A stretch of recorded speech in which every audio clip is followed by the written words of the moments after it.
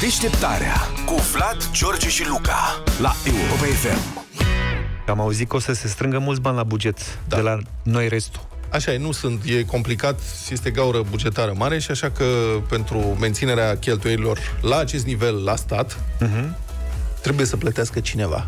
Da, și păi care trei mărite taxele, că ce să faci, doar nu o să-i lăsăm pe oameni aia. Și în perspectiva că se vor strânge atât de mulți bani încât la un dat nu o să... Adică, cred că nici ei nu știu câți bani se vor strânge. Da, dar sper Ei trebuie cheltuiți. Cât mai mult, da. da.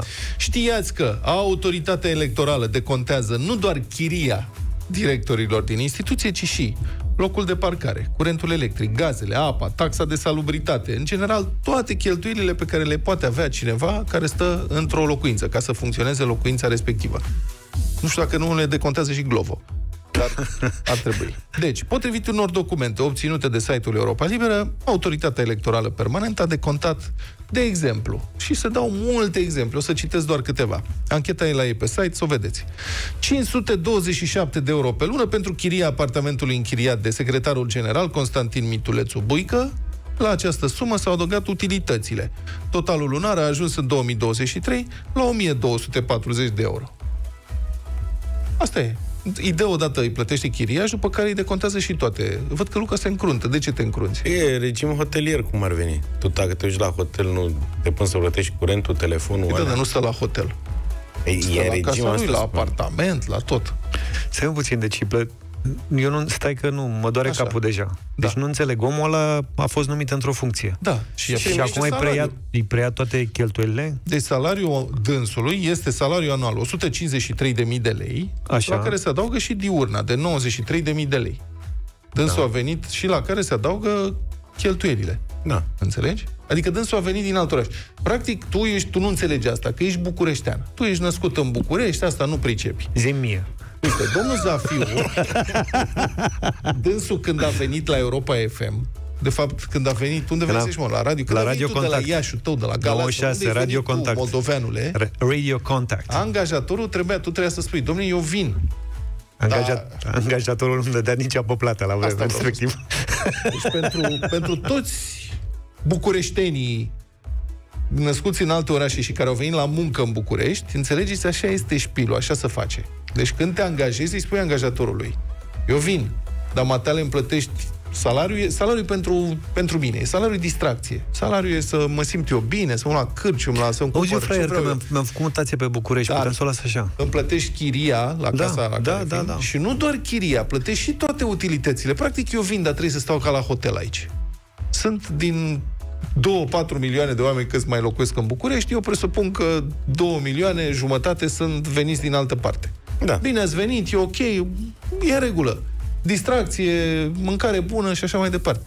Așa s-a făcut, nu? Adică toți cei care au venit în București au primit de la angajator nu doar salariu, ci și decontarea tuturor cheltuielilor necesare. Transport, tot. Nu, dar ne-ar fi plăcut.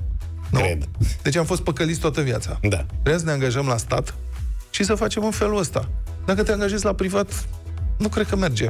Poate că la unii. Dar eu știu că și privații. Unii privați mai asigură locuințe de serviciu. Nu mai zic că poate ne ascultă cineva. mai zi.